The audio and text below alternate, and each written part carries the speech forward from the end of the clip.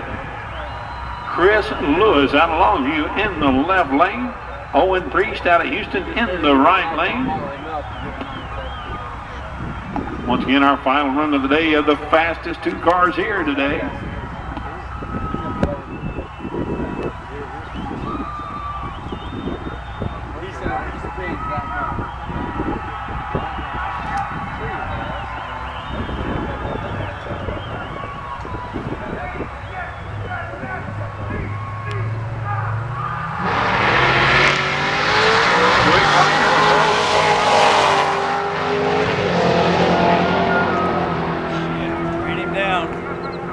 Left lane takes the win with a 949 at 152. Right lane runs 1005 at 141.55. Chris Lewis, your winner today, all the way from Longview, here for the fourth annual Texas Camaro Nationals at Lone Star Motorsports Park.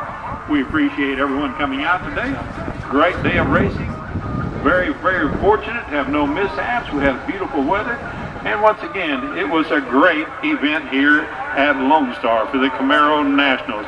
We thank you for coming out, and please check our website at LoneStarMotorsportsPark.com for other for information rather on other upcoming events here at Lone Star.